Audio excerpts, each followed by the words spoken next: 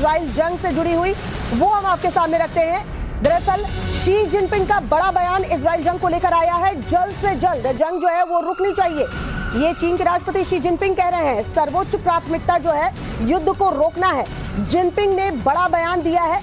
Israel जंग को लेकर कहा है, युद्ध जो है वो रुकनी चाहिए। पहली प्राथमिकता जो है, सर्वोच्च प्राथमिकता जो है, वो युद्ध रोकना है। मानवीय संकट पैदा नहीं होना चाहिए। स्थायी समाधान के लिए काम हम सबको करना होगा। अरब देशों के साथ समन्वय बनाया जाए, ये तमाम बातें शी जिनपिंग ने कही है।